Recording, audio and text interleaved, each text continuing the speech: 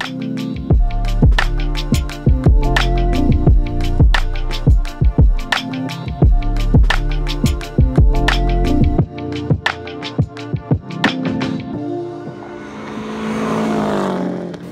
everybody, welcome to the Flatirons Tuning question of the week. Uh, our question this week comes from me actually, and I'm asking, when should I smoke test my car? Great question. Uh, you had a problem that led you to ask us if you should smoke test your car, which was all of a sudden you're not making your target boost.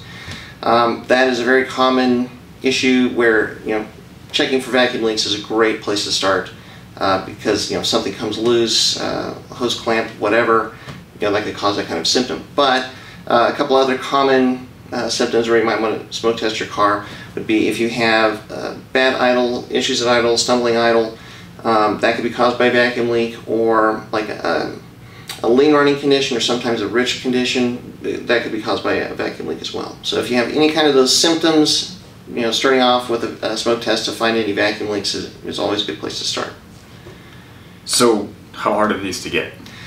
They used to be pretty expensive, but that has all changed. Um, we used to always borrow the one from the shop up the street because they were close to a thousand dollars for a decent one, and now they're just they're down to a couple hundred bucks. So if you get on the internet and you just search for a diagnostic smoke machine or a smoke leak detector, you're probably going to find a couple options that are just a couple hundred dollars. This is a really handy diagnostic tool to have um, you know have access to. Um, just because it's something where it's never a bad idea to just kind of check out the intake system, make sure that everything is, is sealed up properly. Because mm-hmm. yeah, things can happen. Yeah, as we found. As you found. Yeah, what, what did we find today? Uh, just a few leaks. Just a few leaks. Just a few. yes, which which happens. I mean, as these cars are driven, uh, especially the more plumbing that you have, like with the front mount with a lot of piping, a lot of couplers, hose clamps can come loose, um, silicone hoses come loose, stuff like that.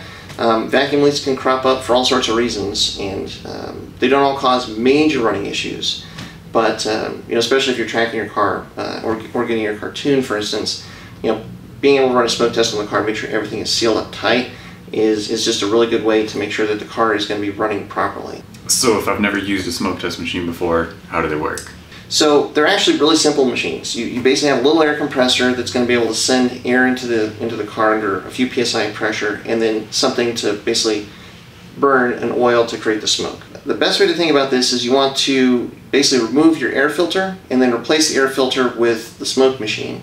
Um, that's why they often have little cone attachments like this. You basically just take your uh, some part of the early part of the intake system off, plug it up with that with that cone, and then send the smoke in through that path. Ideally, you want to test as much of the intake path as possible to catch you know, every possible location for a vacuum leak that you can uh, when you're doing this kind of test. So why is that important for a, for a Subaru? All, all the modern Subarus that we've had over here are mass airflow based cars. So they have a mass airflow sensor right at the beginning of the intake path. Uh, like on, on the Subarus, it's pretty much, it's in the airbox right, or right at the end of the airbox, right behind the filter. That is the sensor that the computer is using to look at how much air is coming into the engine to calculate fueling and such. Everything past that, if you have any kind of vacuum leaks, that air is going to come in under vacuum unmetered. And that's where you have more air than the computer thinks, and that's what can lead to a lean running condition and in these drivability issues we've been talking about. Yeah, which is what I ran into. Exactly.